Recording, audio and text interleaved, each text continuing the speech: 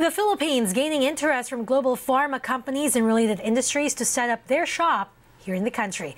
The Philippine Economic Zone Authority on Wednesday has signed a registration agreement for the Victoria Industrial Park that is the country's first pharma eco-zone, plus a memorandum of agreement with the Food and Drugs Administration. PEZA says five Indian and two big Japanese pharma companies, Kaneko and Takeda, have expressed interest in putting up facilities in the Philippines, including for the manufacture of drugs for rare autoimmune diseases and immunodeficient patients. PEZA's recent investment mission in Germany also attracted the EMTS group to register its project for a medical equipment calibration facility, a first of its kind in the country. A Taiwanese company, meanwhile, which is one of the biggest suppliers of hospital beds in the U.S., also set to invest in the PEZA zone.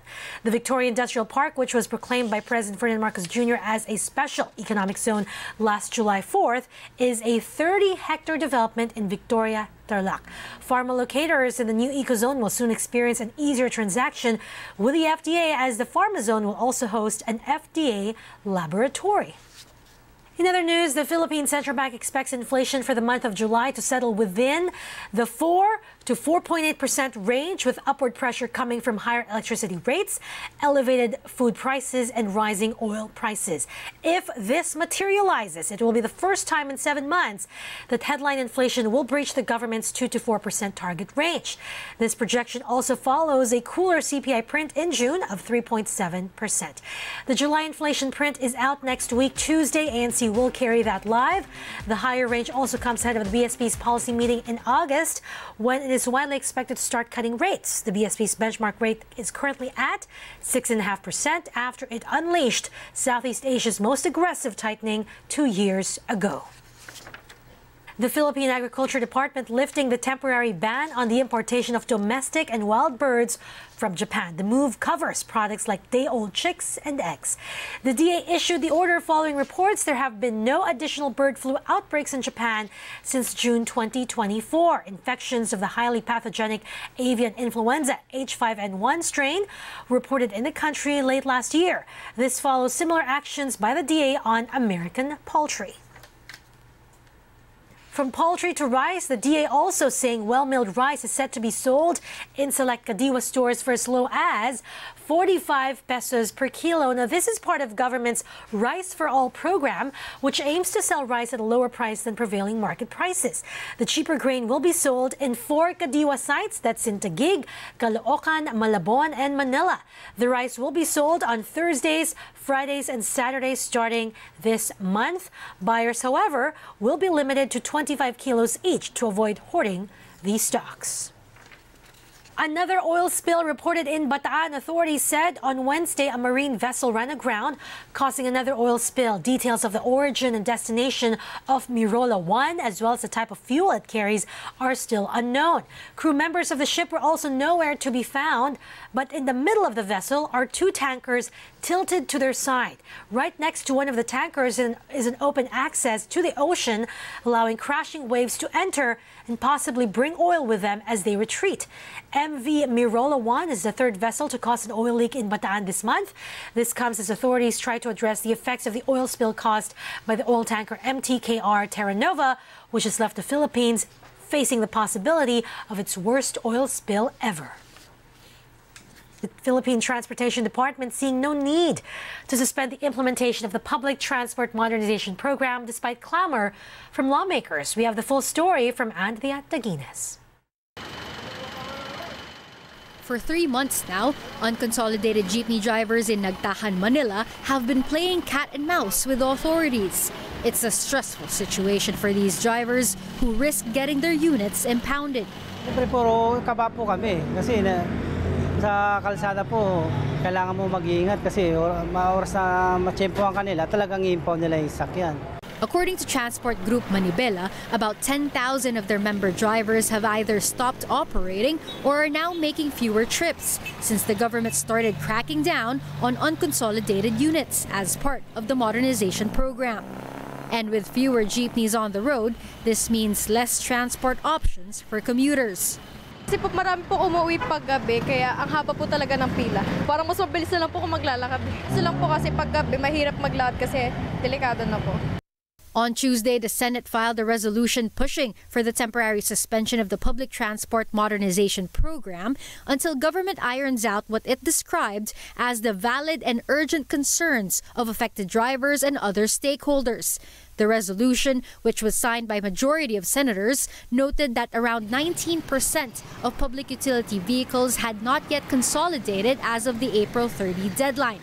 It said this was due to the insufficiency of the government's information drive to educate drivers, as well as the high cost of modern GP units. mismong land bank officials, mismong ah, DBP officials, mismong sila nagsabi na yung ah, amount na, kano yung amount, 2 million, na cost ng, ng, na, na gusto mong i-push dito sa modernization, eh napakataas. Magkano kinikita nila? Ang average, 650 pesos a day. That's absurd. It also criticized the rush to have jeepney operators consolidated when only 11% of local government units in the country have a route rationalization plan. Klaro na hindi pinag-aralang mabuti ito eh. Pagka sinabi mo PUV modernization, ano ba yung goal natin talaga dito? Eh parang ang lumalabas ko, pagkakakitaan po eh. Para dun sa mga supply, di ba, na, na bibilin. Hindi pa handa yung LGU sa implementation. Transport groups Manibela and Piston, who are both against the program, are hoping that President Ferdinand Marcos Jr. will heed the Senate's call. umaasa tayo na ang ating Pangulo hindi lamang ang ah, 22 senators ang pakikinggan niya kundi ang buong bayan, ang grupo ng transport sectors at mananakay. tayo sa bahagi natin ay hindi naging bahagi sa pagbubuo ng, uh, ng programang ito. Kaya na, nararapat lamang, actually, hindi lang suspension, kundi pagbasura dito sa programa ng PUBM. But the Transportation Department insists the high consolidation rate of PUVs is proof that it has been effective in its information drive. umabot po tayo ng 83%, ah, yung ah, final number na po natin base po sa deadline ng April 30. Dalawang grupo na lang po ang natitira na talagang ayaw pong sumama sa konsolidasyon. Transportation Undersecretary Andy Ortega also says the DOTR is helping local government units to speed up the crafting of route plans. As for the issue of equity subsidies for the acquisition of modern units, Ortega said the agency has also requested a bigger budget for that. Humingi po tayo ng total of 2.9 billion. No? I'll be honest with you, ang na-approve po ng DBM dahil sa fiscal ah, constraint ay mga almost a billion lang po. So we are asking our friends in Congress na tulungan po natin ang ating sektor Meanwhile, seven of the country's biggest transport groups have also released a joint statement in support of the government's modernization program. They said transport workers are benefiting from being part of a cooperative or corporation through incentives and social security insurance. Andrea Taguines, ABS-CBN News. The Philippine Trade Department warns consumers against the proliferation of uncertified and unregistered products in the market, notably those sold online. Alvin El Chico reports. Consumer Arnold Huat wants to replace his old TV with a branded one. Aside from well-known brands, he says he will make sure that his choice of TV unit has passed standards tests set by the government to ensure it will last. Di bali mahal, basta kilala yung brand. Kasi po pag mura po, mabilis po masira eh. Eh, doon ka na po sa may pangalan.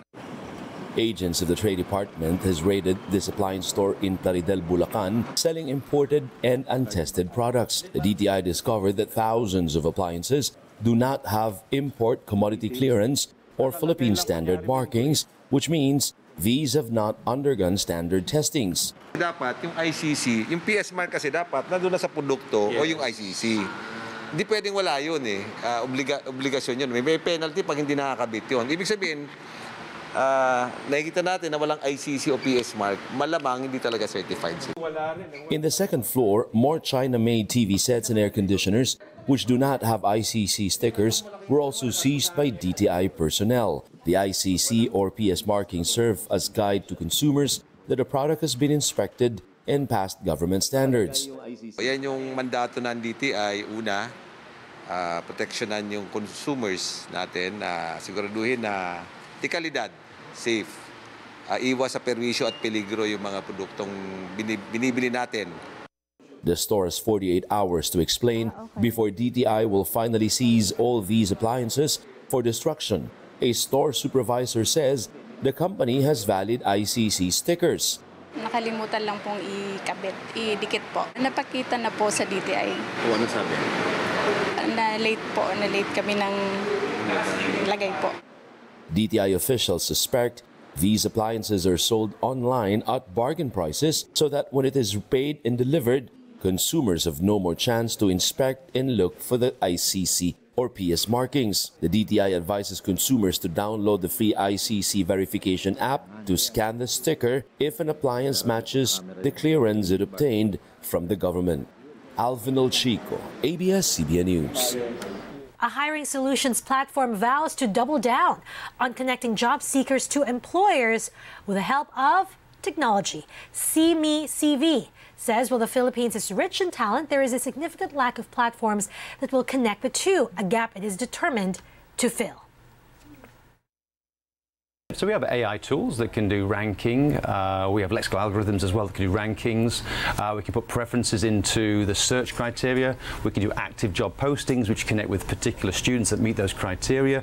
We're always trying to uh, narrow the channel, make sure the wide is, the wide net is covered, but the narrowing of the channel to make sure the right talent gets through the net into the chosen buckets of those roles that the employer is hiring for. So plenty of tech built in. We don't want to over-engineer it. We don't want AI writing CVs, AI writing job Yeah. descriptions, and AI connecting the two together. But a level of AI on the edges where innovation happens is key. Then still putting that human back in the loop to make those final decisions between the job seeker. So for any job seeker, be they senior high school, college, university graduates, if they can use our standard format CV but add a personal video to introduce themselves, just to give an introduction, their skill sets, their energy, their ambitions. As a hiring manager, the fact you've heard and connected with that individual, although never met them directly, mm-hmm. immediately gives you a, an added benefit as a job seeker that you've had that personal connection.